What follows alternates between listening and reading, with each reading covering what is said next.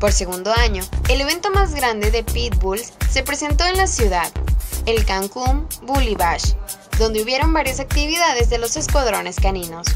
Sara López, miembro del club Cosa Nostra y organizadora del evento, comentó que este acontecimiento es el único que logra reunir todas las competencias de perros durante dos días.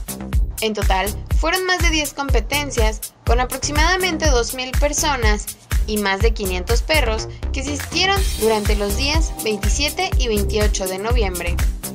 Entre las pruebas que se realizaron hubo de belleza, deporte, obediencia, de temperamento, entre otras, y que están avaladas por el Club Mexicano de Pitbull Terriers y el American Bull Kennel Club de Estados Unidos.